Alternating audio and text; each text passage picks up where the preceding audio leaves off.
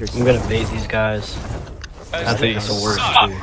Because I'm they made this throw a very curtain at the defender double sided doors map and then just very attack behind sided ears map. whenever they go to flank fucked the up double B doors. side. I could shoot them from the back. Wait, you have to Wait, they first. fucked up B site? Oh, why me? You suck.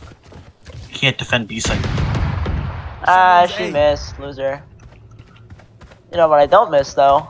That. Let's go.